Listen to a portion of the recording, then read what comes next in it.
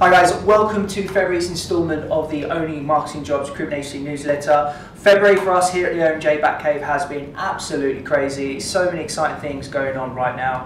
Um, so I guess I'll start by saying that tickets for the Marketing Within Recruitment Sector uh, event for On the Edge Live are selling fast. So please, please, please don't miss out and try and get those booked as soon as you can. Um, we also have some amazing content uh, about to go out for Google for Jobs. Um, so keep your eyes peeled for that. That will be hitting your inboxes pretty soon. Um, and finally, we're putting the finishing touches to our GDPR guideline. Um, so that will be sent out sometime over the upcoming weeks as well. So as I said, February has been great for us. I hope it has for you too. Uh, we'll look forward to seeing you again in March.